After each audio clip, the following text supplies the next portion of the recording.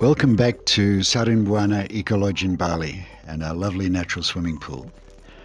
This pool answers two questions. One, can we have a conventional looking chemical free swimming pool?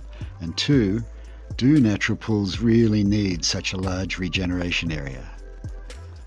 Apart from the lovely curves, this pool looks and feels quite conventional. It's finished with brush pebbles and it stays crystal clear. Our regeneration area, or what we refer to as the wetland system, is actually quite small. And this is made possible by the addition of our nifty waterfall system. These two systems running on timers keep our pool water clear and clean all the time. The pool's been running for well over a year now, and as you can see, it's in great condition. It's never given us any trouble, it's been easy to manage, and we feel we've solved the problem of how do you achieve this without great big regeneration areas and how do you keep the water crystal clear, not feeling like a fish pond you can swim in.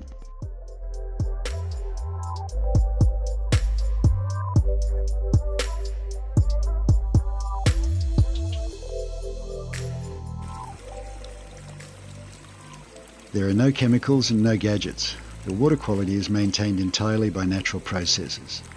You can think of this pool as a little ecosystem, complete with beneficial microbes, several fish species and many plants. The tiny fish we introduced provided an extra bonus. If you stay still, you get a free fish spa. We were recently asked if uh, fish poo or kids peeing in the pool makes the water unhealthy, say in case children swallowed some. So we have several answers for that. When we had the water lab tested, the report came back saying it was good enough to drink. Now, I'm not claiming this is always the case, you'd have to do testing every day, but it's certainly a good indicator. The tiny amounts of fish poo or kid pee is treated or consumed by microbes and plants in the gravel mediums. These natural wastes just become fertilizer the same as they do in nature. The third point I want to raise is let's consider the water in a conventional swimming pool. Is it really safe for kids to swim in and possibly swallow dead water polluted by pool chemicals like chlorine?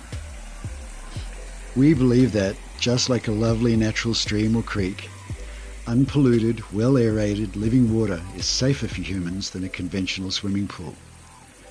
Now let's just make a quick digression here.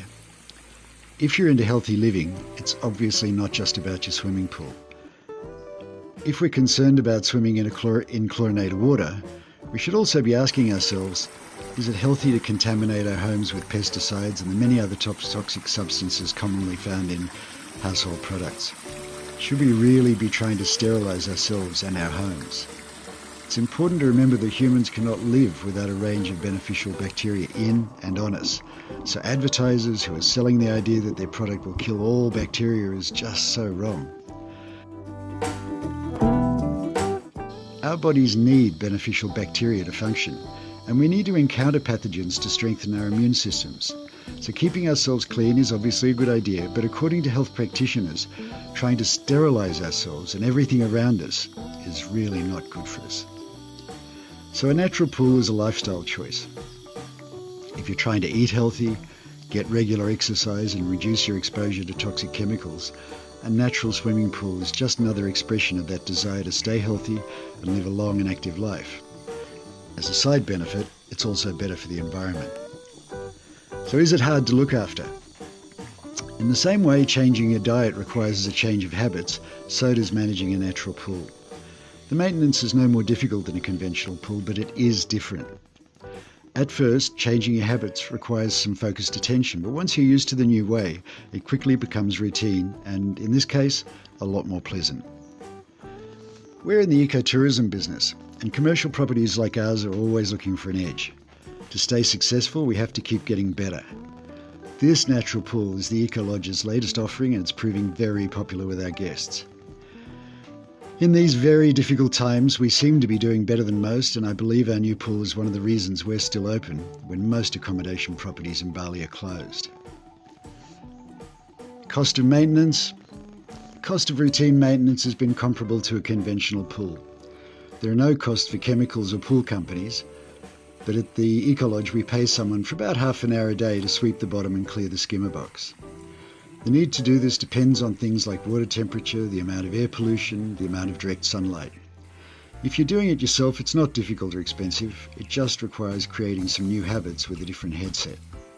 After sweeping or occasional scrubbing, dirt and algae in the pool water is quickly captured by the gravel filters. From time to time we flush the gravel filters and we don't waste that water by the way, we flush it to our koi pond. So instead of trying to kill everything, in a natural pool, you'll want to keep it alive. In a conventional pool, you're sterilizing it with chemicals because you want to kill harmful bacteria and algae. The resulting water is clear, but it's dead with an accumulation of chemicals. In a natural pool, we want to keep the water alive with aeration and circulation, nurturing beneficial bacteria and discouraging the pathogenic ones. The result is clean, clear, and chemical free water that makes us feel healthier and happier when we swim. The main operational cost is running the pumps, in our case, one average size and one very small. The pumps mimic natural flows, moving water through the wetland and waterfall systems as well as the skimmer box. The small pump keeps the water moving most of the time, while the large pump only runs about 10 minutes in every hour. If you're contemplating a natural pool, here's something to consider first. If you're in a hot and sunny area, your pool will need some shade. Warmer water holds less oxygen, making it less suitable for the aerobic organisms we need to keep it clean and healthy. And too much sun will also encourage algae to grow. A shade sail will not only help keep your water healthy and clear, it will also allow you, and especially your kids, to spend hours in your pool without getting sunburn. We've had a lot of interest in the pool, so our company Bali Pro Eco is providing a consulting and design service for new and existing pools, both here in Bali and overseas.